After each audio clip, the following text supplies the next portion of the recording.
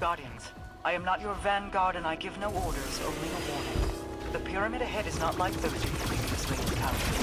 This one was not left for you to find. You were not guided to it, not